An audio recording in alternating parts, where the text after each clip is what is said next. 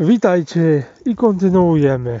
Pony Cyberpunk, czyli kocyk cyberpunkowy. Last Ever Free, godzina 18.47. Grupa zadaniowa Skyforce wyładowała cały sprzęt.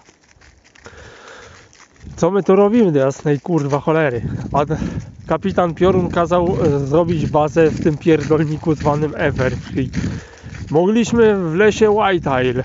Tak, ale tam za dużo kucy się kręci i wiesz, jaka afera by była, jakby się księżniczka dowiedziała, że tam jest baza wojskowa połączona z wyżytnią rakiet, poligonem, koszarami i nie tylko. No, byłby. Dobra, zainstalowane wieżyczki obronne, działka automatyczne i, i wszystko chyba. Dobra, zaraportuję. Nacisnął krótkofalówkę. Panie kapitanie, melduję, że wszystko zostało zrobione. Bardzo dobrze, panowie. Na razie cisza i spokój. Utrzymujcie ciszę radiową. Nie odzywajcie się niepytani. Browar już do was leci w zautomatyzowanym transporcie kontenerowym. A i kapitanie, ku chwale ojczyzny i vice versa. Dobra, i to, to co robimy teraz? Siedzimy i czekam na dupach. Grupa zadaniowa Skyforce to była zautomatyzowana jednostka, która polegała na super nowoczesnych myśliwcach o tej samej nazwie, czyli Skyforce.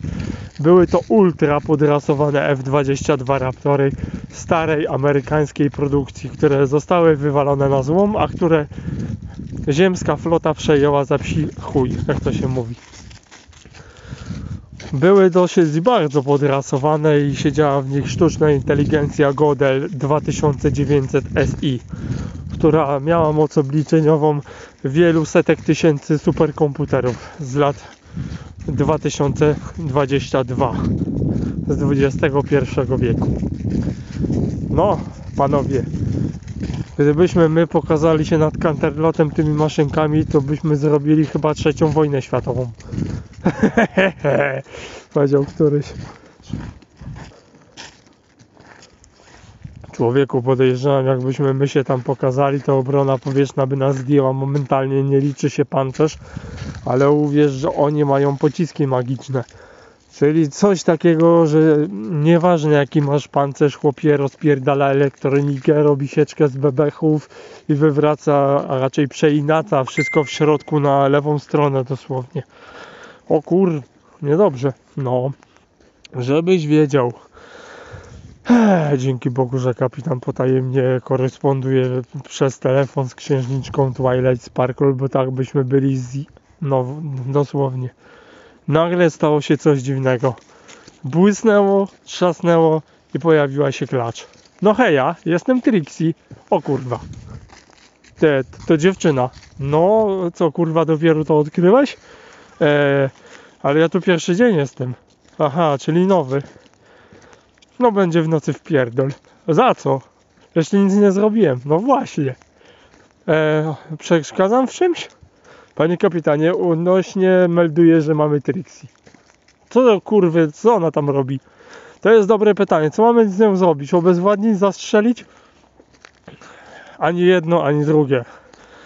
Dają do krótkowalówki. Trzymaj. Ujęła urządzenie magią i przyłożyła sobie do pyszczka. Słucham kapitanie, w czym mogę pomóc? Słuchaj, Trixie, właśnie wpierdoliłaś się w niezłe bagno. Jeżeli Twilight się o tym dowie, albo któraś z jej koleżanek, to będziemy mieli tu jesień średniowiecza z dupy. Aha, czyli mam nic nie mówić. Możesz sobie siedzieć, wpadać na winko, co tam chcesz, ale morda w kubeł, że w ogóle tu coś jest. Rozumiem. A Manticory i tak dalej, chłopaki cię obronią, nie martw się. Nasza jednostka rozpierdoli dosłownie wszystko, nawet jeżeli będzie trzeba Direka, Gorogara, czy co tam...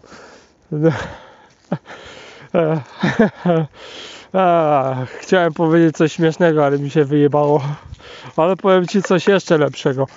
Mm, mm, Zamiast y, coś tam jeszcze, to powiem, że rozpierdolimy nawet lodziarkę z lodami z lat 90. A, pokazywał mi pan takie zdjęcia takiej furgonetki, co jeździła z taką śmieszną muzyczką, co jeździła po polskich wsiach y, w roku 2000. No właśnie, o tym mówię, więc nawet i to rozpierdolimy, jak będzie trzeba.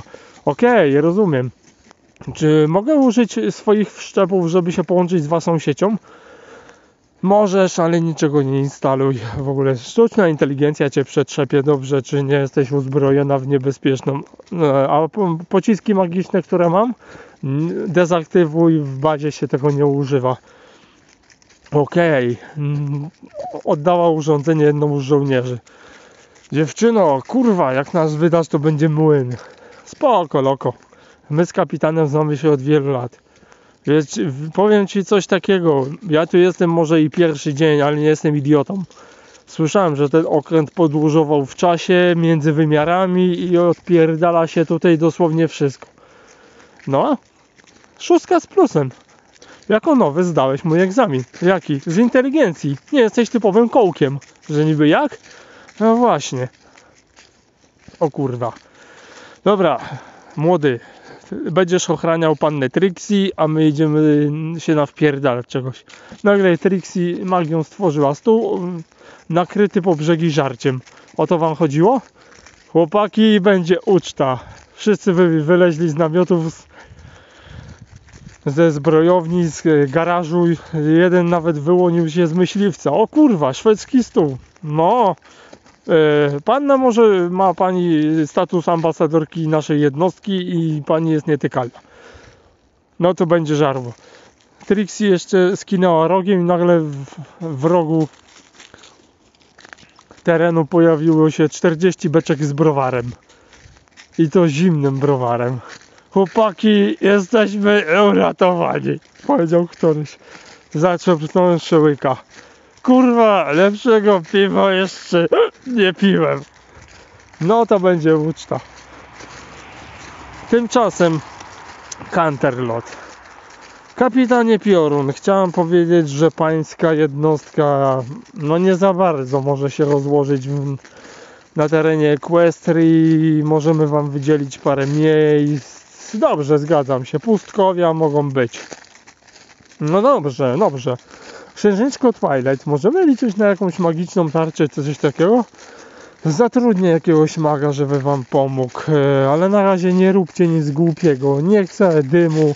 Wystarczy, że po ostatniej waszej akcji, jak byliście tu 60 lat temu, zrobiliście taką rozpierduchę, że przez 10 lat sprzątałam wszystko. To było przypadkiem.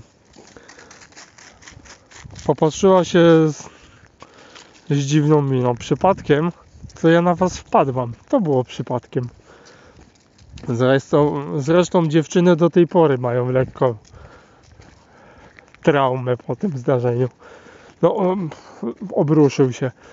Po księżniczką może użycie broni atomowej na Tireka to nie był dobry pomysł, ale sama widziałaś, że szybciej go pokonaliśmy. Tak, i zrównaliście dolinę z ziemią. Ale odpracowaliśmy. Ach. Ja się z wami zawsze mam. W tym czasie Rainbow i Starlight leciały samochodem podniemnym. I co ty myślisz o tym? No, rozmowa z księżniczką była dość yy, mocna.